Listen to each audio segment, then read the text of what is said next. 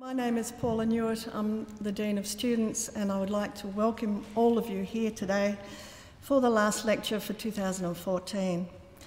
I will begin, though, by acknowledging the Ngunnawal people as the traditional owners and custodians of this land on which we meet today. And we have met here on the final Thursday of the teaching year for every year but one since 2006. This has become an enthusiastically anticipated ANU ritual, a ritual of celebration, of thanks, of achievement acknowledged, and of relieved gratitude that we've all survived yet another academic year.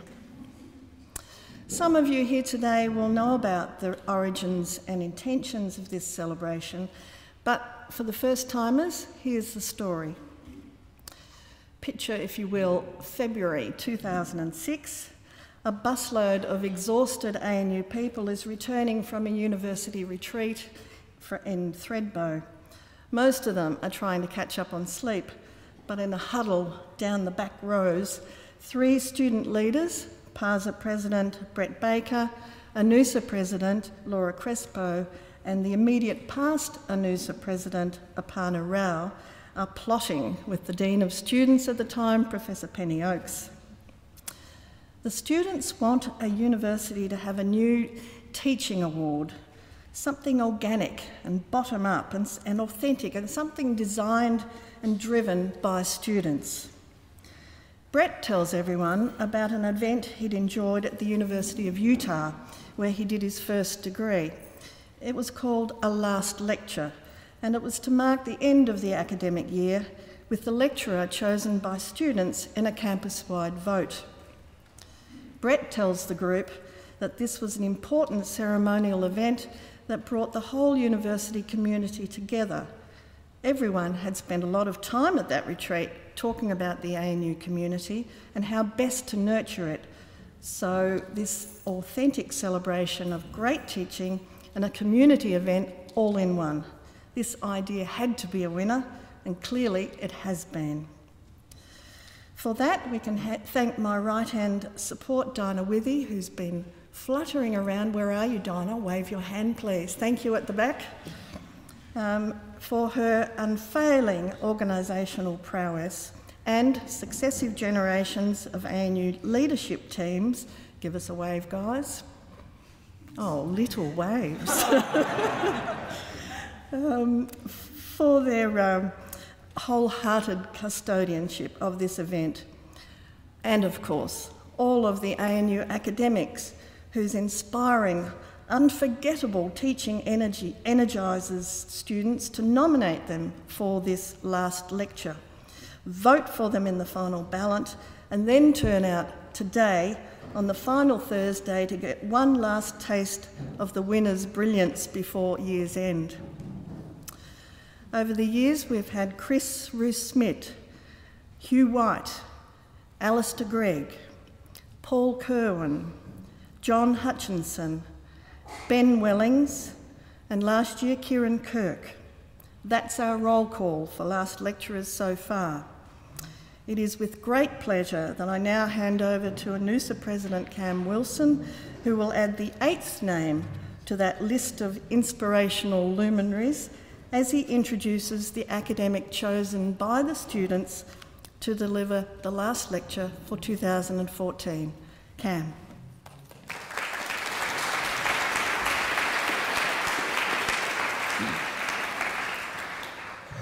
Good afternoon all.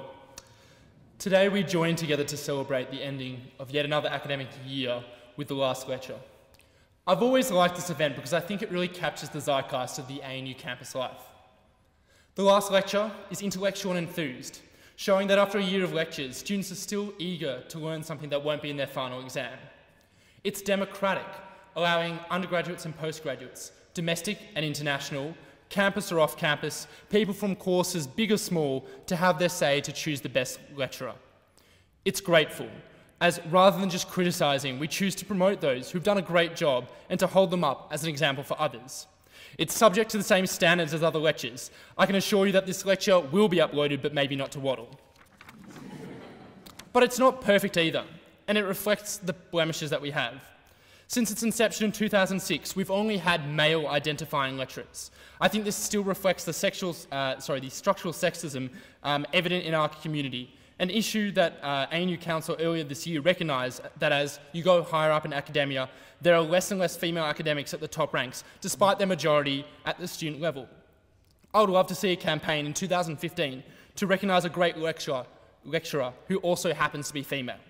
But most of all, I think it's a bit tongue in cheek and irreverent. It shows our ability to overturn the traditional power structures and to say to ANU that you may technically hold the power, but we're going to finish this year on our own terms. And what a year it's been for ANUSA. We've fought fee deregulation and higher education cuts. We've made massive constitutional improvements. We've had electoral reform, run a ANUSA review. We're still fighting to get our SAF. We've been advocating on internal education matters, met up with thousands of students on welfare issues, supported fossil-free divestment, picked up our own internal policies and procedures, supported more than 100 clubs and societies, gone head-to-head on rogue censure motions, investigated post-SAF apocalypse, had ongoing GAC reform, um, run the first ever ANUSA retreat, coordinated the biggest safety on campus campaign ever at ANU, been on the news, on the TV, radio and internet, um, been active on 20 committees and working parties across the university, revived committees, run fantastic O Weeks and Bush Weeks, and had the best ever handover from the amazing 2014 team who has earned the right to be proud to the new and capable 2015 team who have, I have no doubt will, are about to earn the same right. So, I can think of no better way to cap off the year with our very own last lecture. Allow me to introduce the speaker. Dr. Yanis Ziogas was born and raised in Greece, studied classics at the University of Thessaloniki, and completed his PhD in Cornell in 2010. After a brief stint at University of Adelaide, which we'll pretend didn't happen, uh, he settled at ANU and started teaching up a storm. He's written a book which he mentioned received good reviews, and, and, upon doing research myself, I can tell you received at least pretty good reviews, and is finishing up a second book. Dr. Ziogas received an astonishing 85% of votes from his class, meaning that out of all his students, nine tenths of them went out of their way to vote for him, which is almost unheard of. I'm expecting to see the same rate of completions from SELTs from all of you as well, hint hint. Speaking to some of his students who decided to run a campaign for him, they waxed lyrically about his love of teaching, his wit, and perhaps his intentionally humble mantra Latin is hard to learn but easy to forget. Chatting to him, I was curious to see what kind of lecturer had, for the lack of better phrasing, charmed the pants of his students. From the moment I walked into his office in the depths of the AD Hope building, I was greeted with warmth. And as we chatted, I found more and more about Yanis, who isn't just simply a great lecturer, but someone who truly belongs at ANU. Yanis told me a story about his first week teaching at ANU. He came into a class, started to explain a passage to them, and found that the whole class didn't really get it. In his own words, it was kind of awkward. Yanis took this away and realized that heaps of people didn't actually get it as well. It wasn't just his students. He wrote an article uh, on it that went on to be, in his own modest word, moderately successful. In this way, I think he really embodies the idea of research-led education, a phrase that's thrown often around at ANU. He's an individual who's able to draw from his research to teach, and from his teaching to research. As a student representative who sat in on a million stuffy meetings at the ANU Chancery, being bludgeoned to death by buzzwords, I'm happy to hear that this concept is alive and well. Yanis has an obvious respect for students, which is evident in the way that he teaches and interacts with them. When asked about his pet peeves for lecturers, he told me that he hated when lecturers said that they hadn't prepared. Not because they actually hadn't prepared, but because it showed that they were trying to get the class's expectations down. So since he's made his own bed, we're going to force him to lie in it. I ask you all to raise your expectations to hear a talk titled, titled Can We Live Without the Classics? I present to you the last lecturer for 2014, Professor Yanis Ziogas.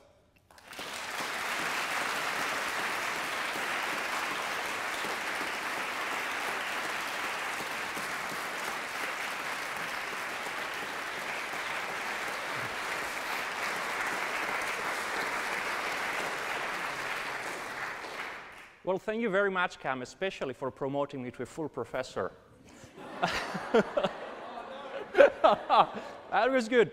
Uh, I mean, you, you were really great. I mean, listening to you, I, I could barely recognize myself. Uh, but I mean, this, this is what, you, you, did a fantastic job. This is what the, the occasion uh, demands. So it's customary to say nice things about the speaker so that uh, the audience gets interested and excited about listening to the talk. So um, it would be completely out of place, for instance, to talk about uh, the failures and rejections of, of the speaker. And I'm glad that you silenced what, what I told you that I had a really hard time learning Latin at the beginning. Uh, but if I were to introduce myself, this is exactly what I would talk about. Um, we learn much more about the character of a man or a woman by observing how they behave when they're vulnerable and defeated, uh, when they feel helpless and doubt about everything, not when they're doing fine. Um, success is relatively easy to handle, but it's the, the way we deal with challenging situations that makes us who we are. These moments forge our characters and define our future. To quote the pre Socratic philosopher Heraclitus, a person's character is his destiny. And actually, the Greek word character derives from a verb that means to sharpen, to make pointed, or to scratch. So it's the rough edges of our lives that chisel our characters. so, since Paula and Dinah basically gave me free reign, to talk about whatever I like, uh, this is exactly what I'm going to do. So um, I decided to spend this last lecture trying to answer a vital question. Um, is there life in this world without classics? Now, I'm not going to pretend that I will give you an objective answer. Um, all you're going to uh, get is my entirely biased and subjective view. That's all I have to offer you. So, in order to answer this question from my point of view, I'll start by talking a bit about my rough times. So I'll take you back to the time when I was finishing my doctoral studies at Cornell University in Ithaca, New York. And as you can see, this is a place that it is a bit colder than Canberra. um, this, as you can see here, Goldwin Smith Hall um, with its, its, Greek architecture. This is where the classics department um, is based. And I took those pictures five years ago. And back then, um, things were kind of hectic, and it wasn't because of the cold. Um, that was the dawn of the global financial crisis, and the prospects for a career um, in classics looked pretty gloomy. Studying the literature of ancient Greeks and Romans sounded like a luxury our troubled times could not afford. My scholarship money was generous, but it was running out. That year, I had applied for more than 80 academic jobs. I got a couple of job interviews, but no job offer. So, in sum, I was broke and demoralized and could not see a way out. And besides, I had just received the reports of two anonymous readers on an article I had submitted for publication, and they both rejected it.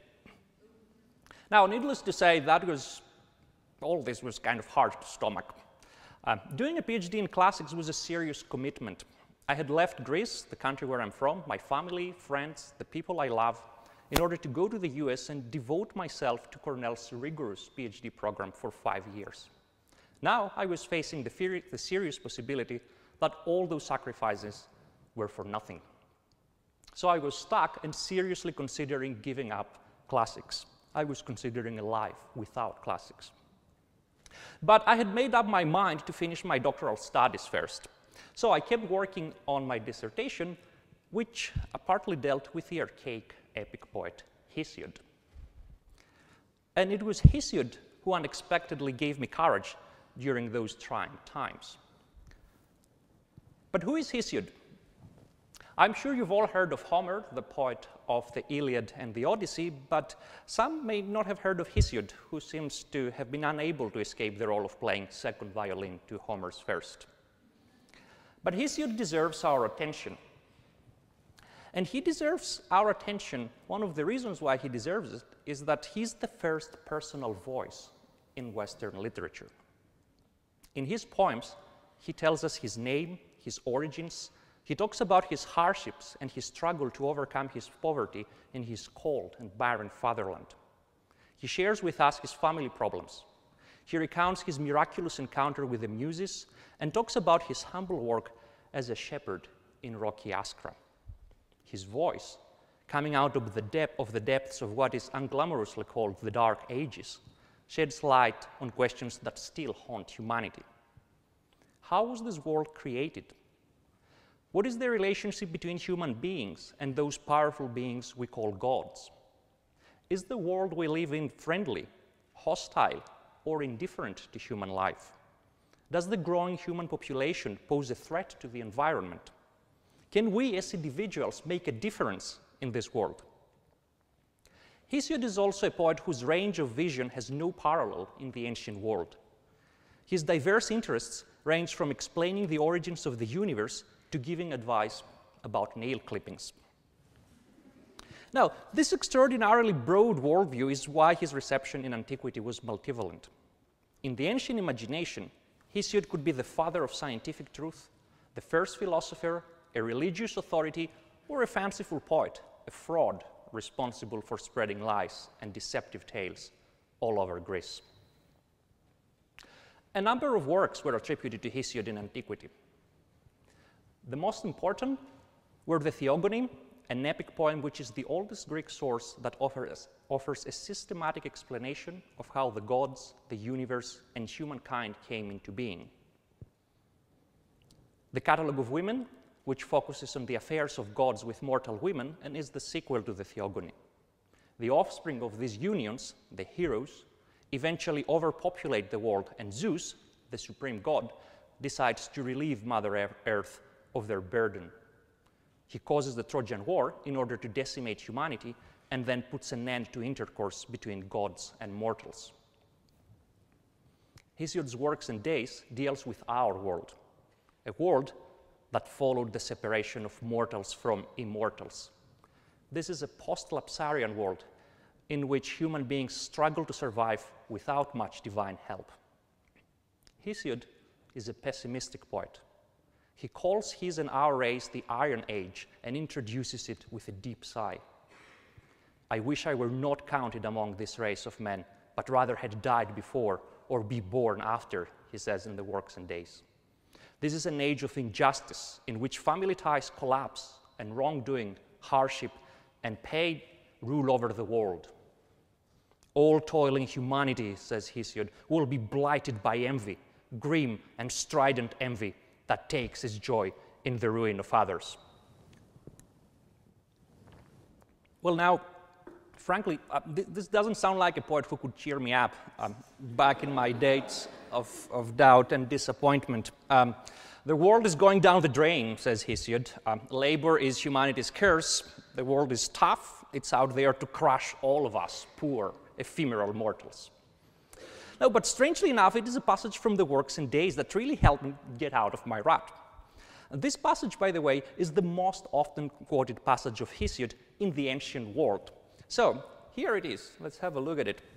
Uh, Hesiod admonishes his foolish, foolish brother Perseus. You can choose to have evil, and heaps of it too, for its house lies near, and the path to it is smooth. But the immortals decreed that man must sweat to attain virtue. The road to it is steep and long and rough at first, but even so, the journey gets easy when you set foot on the peak. Now, this, this famous passage comes down to us with a multitude of interpretations and variations, which it has been accruing for centuries. Some of these readings are shameless distortions of Hesiod's text. Plato, for instance, who didn't like Hesiod, he does not quote the passage in full. He leaves out the last line, which says that one can achieve virtue, and argues that Hesiod ultimately encourages vice, since virtue is so hard to obtain. Now, the poet Tyrtaeus um, is more interesting. Um, Tyrtaeus manages to make this passage fit in his martial agenda. Let everyone strive now with all his heart to reach this top of manly virtue, with no slackening in war. So goes Tyrtaeus' trumpet of war. Um, so, Tyrtaeus emphasizes the epic associations of virtue with manliness, and this is an essentially um, Homeric meaning. In martial epic, heroes stand out as individuals when they do a lot of killing on the battlefield, where men gain glory, as Homer puts it. But one of the most fascinating aspects of Hesiod's passage is that it denies the militaristic value system of martial epic and redefines virtue.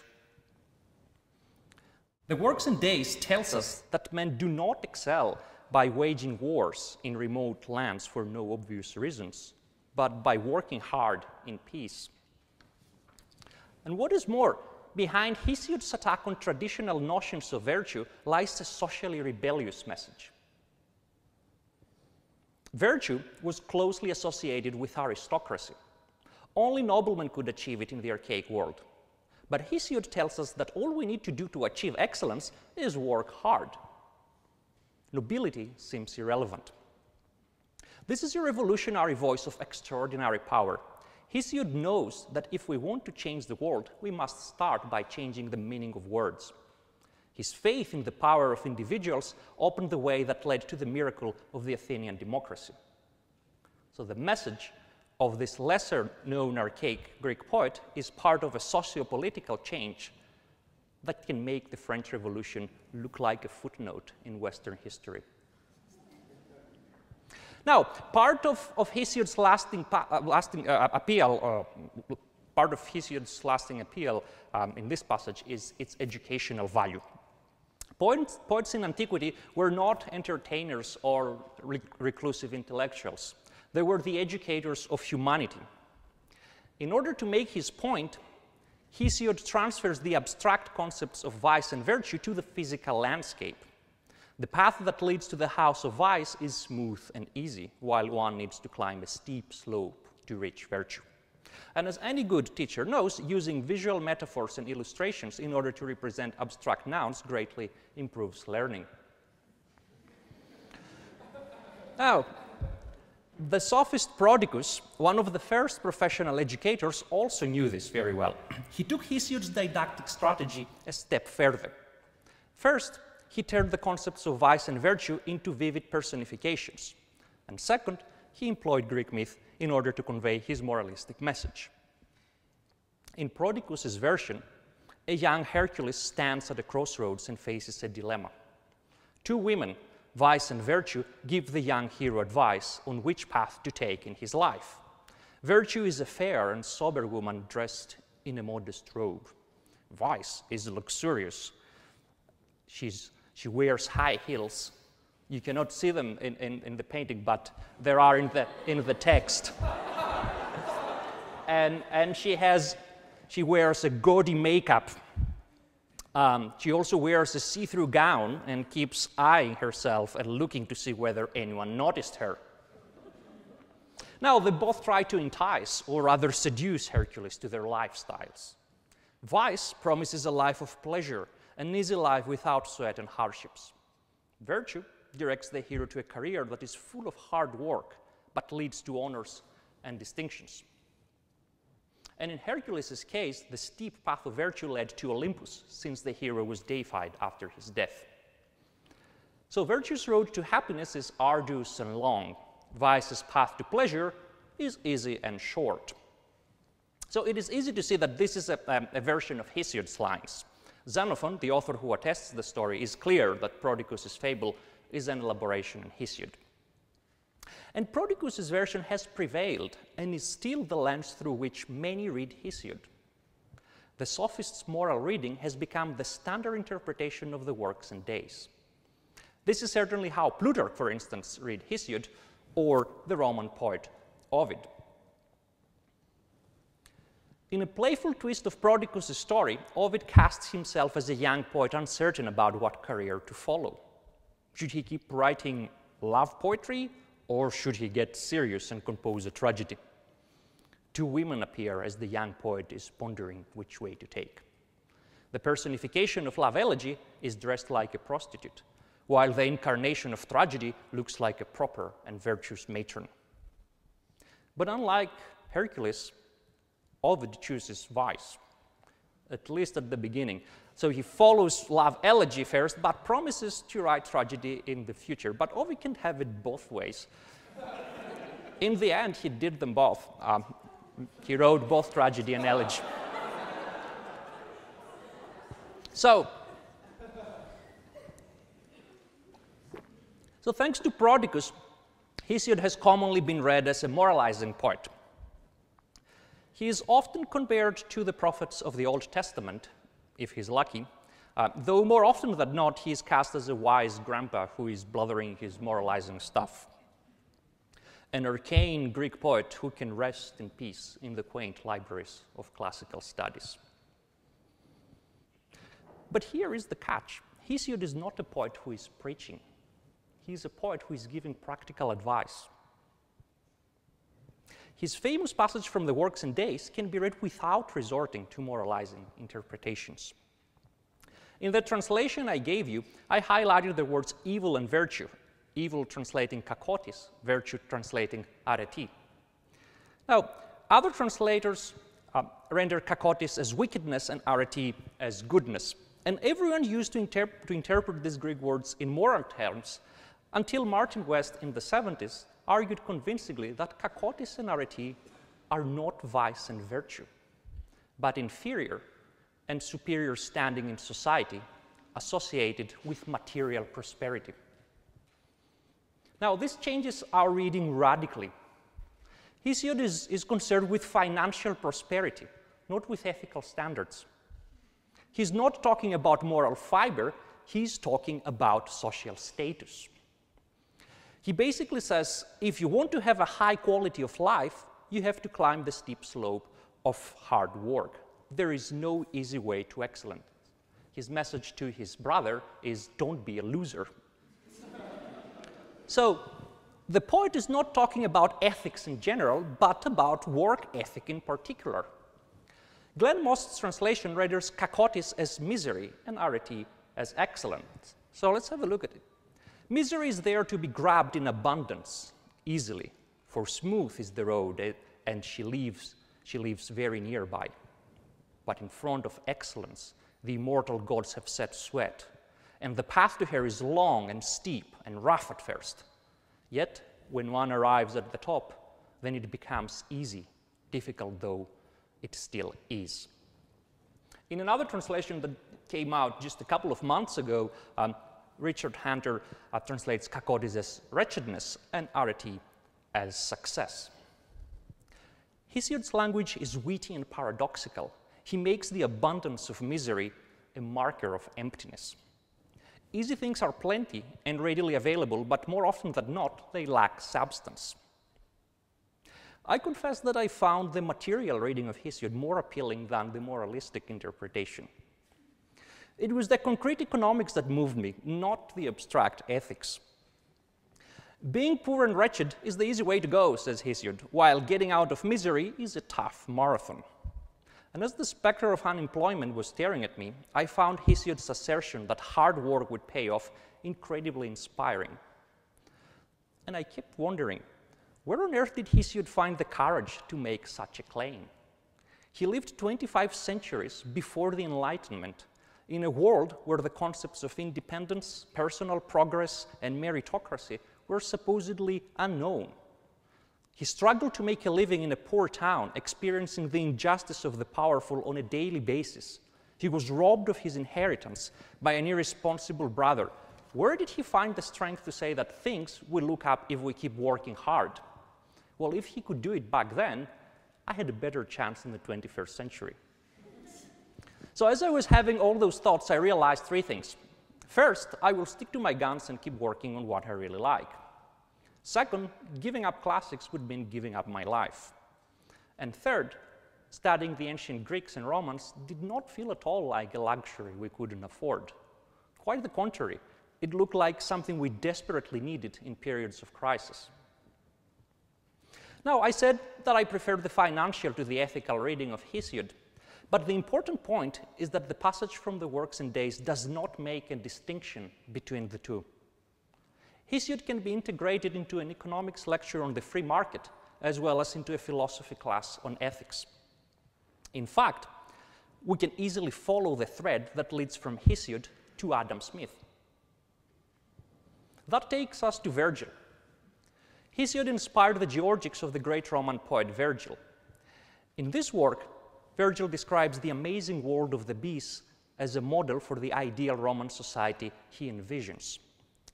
Now, surprisingly, Virgil's beasts are not an indistinct swarm, but are driven by personal ambitions. An inborn passion for gain spurs on the Attic beasts, each after its own work. Virgil's bees are Attic, a reference to the famous Attic honey, but also an allusion to the Athenian democracy, a political system which made the individual pursuits of its citizens the building blocks of a stable society.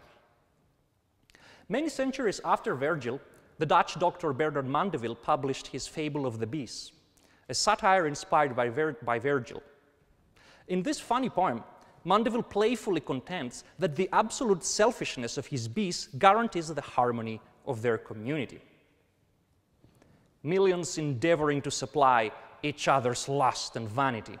Thus, every part was full of vice, yet the whole mass a paradise. Now, this work is tongue in cheek, uh, pretty much a parody of Virgil and Hesiod.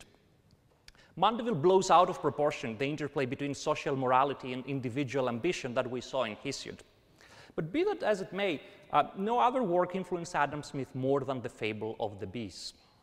So the line that connects the founding father of modern economics to Hesiod uh, is not the fanciful thinking of a classicist, but pretty much an undeniable fact. Now, uh, all this talk about financial times may strike some as surprising, given the current debates about the value and future of the humanities. Lecturers from the arts are expected to criticize our money-oriented world, the corrosive obsession with wealth that has been destroying the moral basis of our society. A new genre of articles and books lamenting the decline of the humanities in our profit-driven world has been growing rapidly. The, author, the authors of this stuff offer a passionate defense of the arts and present a bleak image of the destructive greed that characterizes the current political, economic, and educational landscape. They bemoan the tyranny of the numerate over the literate. Now, I would not dispute that the humanities can barely flourish in the current climate. Making a living as a classicist often feels like living exiled in a Hesiodic dystopia. But complaining about the unjust and evil system seems to me like the easy way to endless misery. In my view, the challenge is to show that the humanities are indispensable. To lament their, their decline is the easy way, the cliche. The steep slope that leads to excellence is to work hard in order to bring the classics back to the core of the academic curriculum, not to sink into a gloomy nostalgia of bygone glories. Now, this, this slope gets steeper and rougher thanks to several popular beliefs about the classics. Many think of the great works of Greek and Roman literature as obscure, impenetrable, yet strangely enough, at the same time, it is commonly considered that classical works are defined by their clarity, the straightforward way in which they can express eternal and universal truths. Nothing is farther from the truth than this. The reason why we still read Hesiod is not because he has a simple and straightforward message, but because his language remains mysterious in its simplicity. His concepts of arete and kakotes malleable and applicable to diverse contexts, his diction easily appropriated for a multitude of purposes. The magic of the classics consists in their capacity for endless transformation, not in their stability. Those seemingly fixed and monumental texts have the ability to morph into various shapes at the hands of different readers, simultaneously fashioning and changing the readers who engage with them. Metamorphosis is what makes the classics timeless. Now, that's an important point. It's important because the protean nature of classical texts educates those who study them in diversity and tolerance. The defenders of literary studies are often eager, even anxious, to argue about their continuing relevance in a rapidly changing world. But in my view, we hardly need to argue about the relevance of classical literature. Those texts have been showing for centuries that they have an almost miraculous ability of adapting to an extraordinary variety of places and times. What fascinates me more is that classical literature brings us in touch with worlds that are radically different from ours. The works of Homer and Virgil can speak to us directly about times and societies whose beliefs and value systems look very strange from our perspective. This peculiar feeling that what we read is both strange and familiar defines the great works of classical literature. These works are like the stars, remote signs from the past that help us navigate across an ocean of time. Classical literature helps us to discover where we stand in our world, but also makes us think about other worlds and opens our minds to accepting beliefs, ideas, and cultures that are very different from ours. Reading the classics is like falling in love. We're attracted to a man or a woman not only because we recognize in them a part of ourselves, but also because we see in them a world we have never encountered before. In his book, The Pleasure of the Text, the French literary critic Roland Barthes divides the effects of reading into two pleasure and jouissance, a word that is hard to translate in English. Jouissance denotes both intellectual joy and sexual ecstasy. So the French obviously um, can bring the two together, but the English has a hard time with this. So this is a term that unites mental delight with carnal satisfaction. For Barthes, there are two categories of text. On the one hand, texts that treat readers as passive recipients, while on the other, those which compel the reader to take an active role in reading, to break out of his or her position as a subject, to negotiate and re-establish the meaning of texts. The texts that treat the reader as a passive subject are entertaining, but the texts that demand the reader's active participation are far more rewarding. Entertaining texts make readers feel comfortable and safe with what they are reading. They are readable and readily available. By contrast, the text of jouissance impose a state of loss, disturb the reader's cultural assumptions, and break linguistic norms. To read these texts, we need to be inclined to climb the steep slope of Hesiodic excellence. These works are challenging, even dangerous, but extremely satisfying. They shape our characters by asking us to reshape their interpretation. Classical literature is full of texts of jouissance, works that take the readers out of their comfort zones, that invite them to react, to reenact, and rewrite what they are reading. One of the biggest failures of classical studies is that it has often sanitized classical literature. It removed its sting and made it safe. We, we bring Euripides and Ovid into safe, sterilized classrooms. We stifle those powerful authors with political correctness and trigger warnings. But Hesiod's works, Euripides' tragedies, Prodicus' lessons, and Ovid's poems are not safe texts. These works provoked, enraged, and caused violent reactions. They were burned and banned, their authors reviled, banished, sentenced to death, torn to pieces. And here lies the value of classical literature. It does not flatter our prejudices. It does not confirm our assumptions. It is here to turn our world upside down. The survival of the classics is not a testament to their universal acceptance. Their survival is the triumph of resistance. Barthes' analysis of the erotic nature of reading is actually thoroughly explored in Greco-Roman literature. The Latin word gaudium fully captures the meaning of the French jouissance, and Latin poets constantly draw attention to the textual and sexual pleasure of reading. And no one has explored this exciting dimension of literature better than the Roman poet Ovid.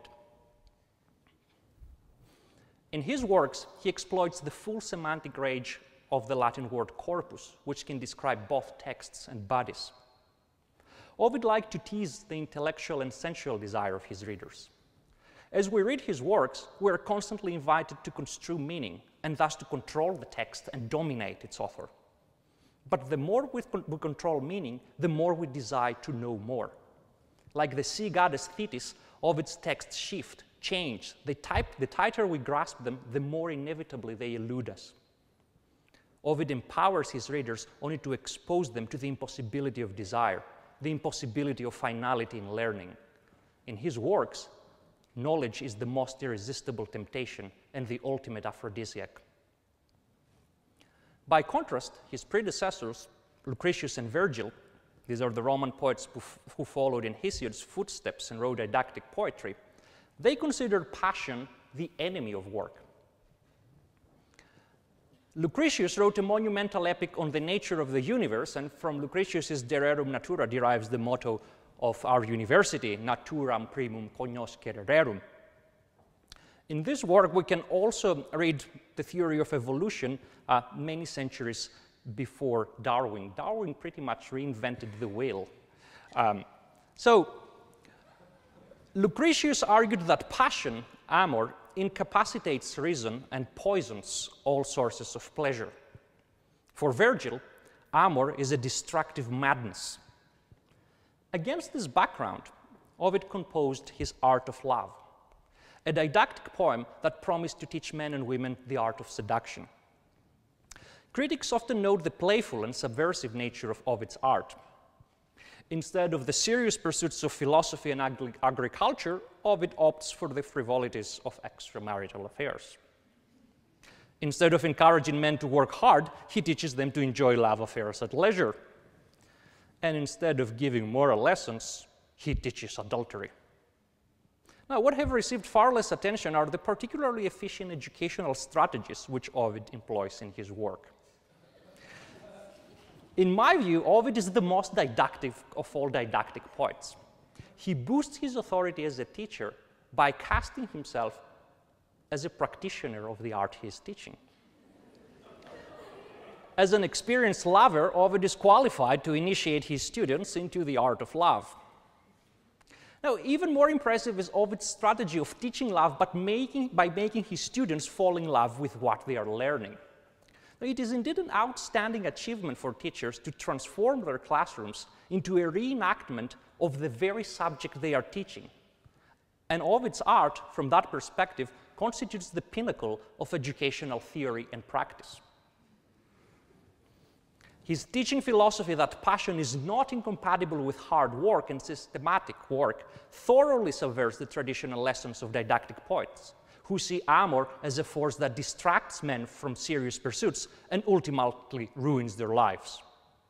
Ovid would have none of that. Giving up what you like is the easy way. Pursuing, pursuing your passions and following them wherever they take you, now that's a serious job. That's a Herculean labor. Which brings us back to Prodicus. Prodicus elaborated on Hesiod's paths of misery and excellence. He cast vice as sensual and shameless, its personification a provocatively dressed woman. By contrast, virtue was modest and abstemious. Prodicus's fable is attuned to the socio-political hierarchies of the Athenian democracy.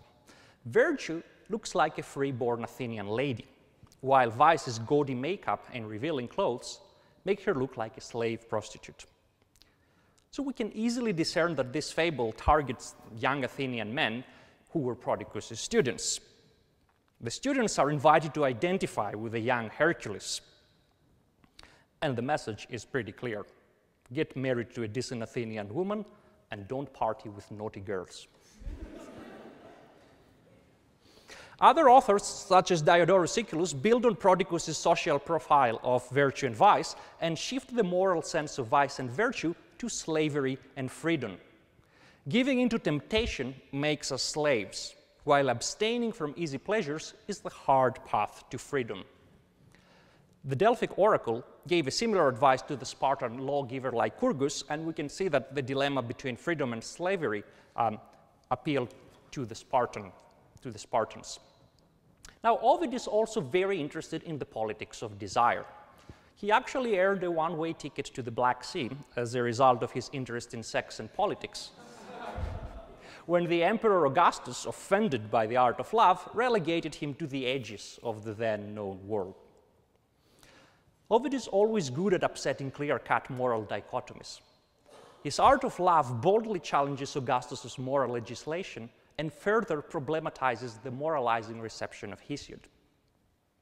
Ovid is here to tell us that subjective desire cannot be divorced from scholarly or scientific pursuits that our passion for progress is both sensual and intellectual, our motivations simultaneously mental and material. Contrary to what Prodicus, Lucretius, and Diodorus believed, our passions cannot enslave us without setting us free. But it is time to conclude.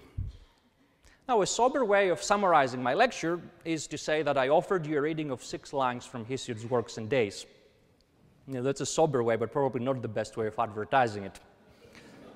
But it's, it's fair enough. Um, we saw how this passage changes as it travels through time, from archaic Greece to our age. A more attractive summary would probably be to say that it was a kind of a time travel, a trip to the past. I talked about progress, individual goals, and action plans, concepts that may strike us as modern but can be found in the work of an archaic Greek poet. I realized that my focus on the past contrasts with the concepts I explored, concepts that make plans for the future. Yet the way we think about the future would have struck the Greeks as bizarre. We think of the future as something that lies ahead, in front of us, while the past is behind. So progress is forward movement. In Greek, however, the word that means behind refers to the future. In Homer, the human beings that are behind are those who are yet to be born.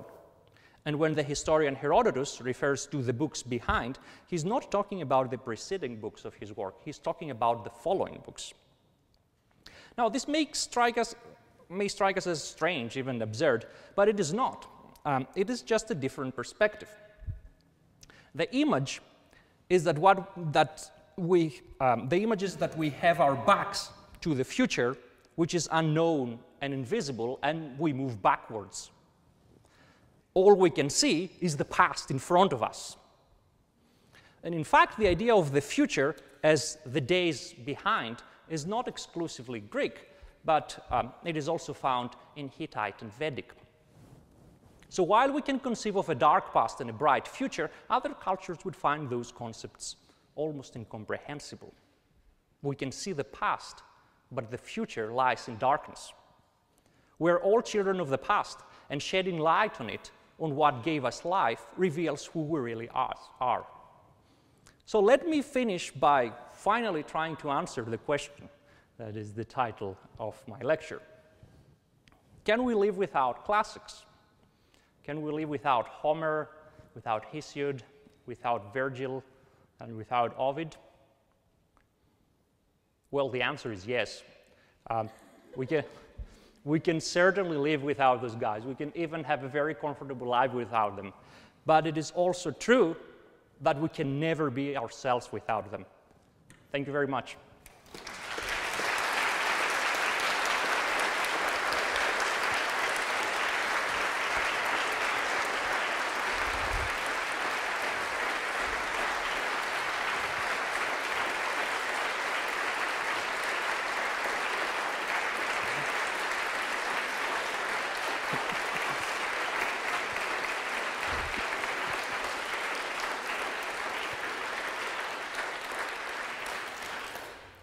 Good afternoon, everyone. I am Kimberly Ashby Mitchell, Communications Officer at the Postgraduate and Research Students Association, PARSA. Both our President, Ben Niles, and Vice President, George Carter, were unable to bring greetings as a result of scheduling conflicts. And since all the stars were aligned in my favor, I am here with you to bring greetings on behalf of PARSA. Dr. Ziogas, I am certain that I speak for all present when I say thank you for delivering such an engaging lecture, full of passion and appeal. I must admit that coming into this hall today, I had no idea what to expect, since I have no background in Greek mythology. But such is the beauty of the last lecture. Others, like myself, have now been exposed to new and exciting material that resonates with us. I must also admit that my PhD supervisor is probably now quite nervous that I'm expressing such awe and curiosity about your field. Since in a recent Woroni News article, Dr. Ziogas is quoted as saying that during his time lecturing at Cornell University, many students came to study economics and ended up doing PhDs in classics after sitting in one of his classes. It has certainly been a fantastic evening where we have been able to acknowledge the dedication of one of our lecturers and also acknowledge the strong support of students, particularly those in the classics. To all in attendance, we would like to thank you for coming out and listening to the last lecture. I take this moment to tell you that drinks will be served shortly out on the lawns. In bringing this evening's proceedings to a close, I will now read the ode to end the last lecture. It seems a welcome journey that we look so gratefully to the end of this academic year, but still take the effort to listen to one last lecture. We have no obligation, no monetary or assessment like intent to be here, but still we fill this hall not afraid to learn and give. We demonstrate respect for this institution of learning and the values that it brings collegiality, commitment, pride, responsibility, freedom, service. Prepare to put those books on their dusty shelves and dismantle the study places, those nooks and cranny like retreats. Please join me now to thank Dr. Ziogas as he exits this hall and thus ends the 2014 academic year.